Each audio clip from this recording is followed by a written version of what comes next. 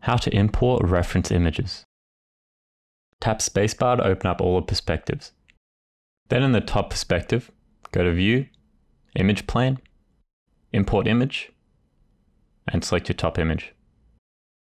Then you can do the same for the front and side view. You'll probably want to have these images in your project file, but you can have them wherever.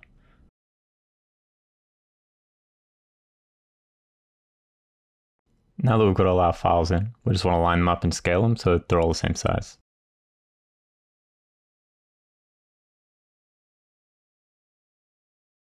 Once we've done that, we can just spread them out so we can actually use them to model. After that, you're good to go.